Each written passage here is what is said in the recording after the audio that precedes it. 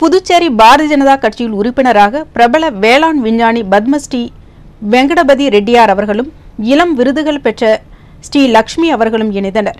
மாநில தலைவர் சுவாமிநாதன் தலைமையில் நடைபெற்ற விழாவில் கொய்யாவில் புதிய ரகங்களை கண்டுபிடித்த உலக அளவில் பல பாராட்டுகளை பெற்ற இவர்கள்.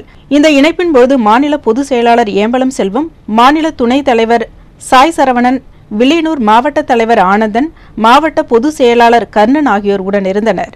மோடி அவர்களின் மேல் கொண்ட ஈடுபாட்டால் தன் புதிய கண்டுபிடிப்புகளுக்கு மோடியின் பெயரை சூட்டி மகிழ்ந்ததாகவும் அவரின் தலைமையில் பாரதிய ஜனதா கட்சியில் இணைவதை பெருமையாக கருதுவதாகவும் குறிப்பிட்டார். புதுச்சேரி உங்கள் ஏஎம்என் டிவி செய்திகளை யூடியூபில் உடனுக்குடன் காண ஏஎம்என் டிவி பாண்டிச்சேரி சேனலை சப்ஸ்கிரைப் செய்யுங்கள். பெல் பட்டனை மறக்காமல் கிளிக் செய்யுங்கள்.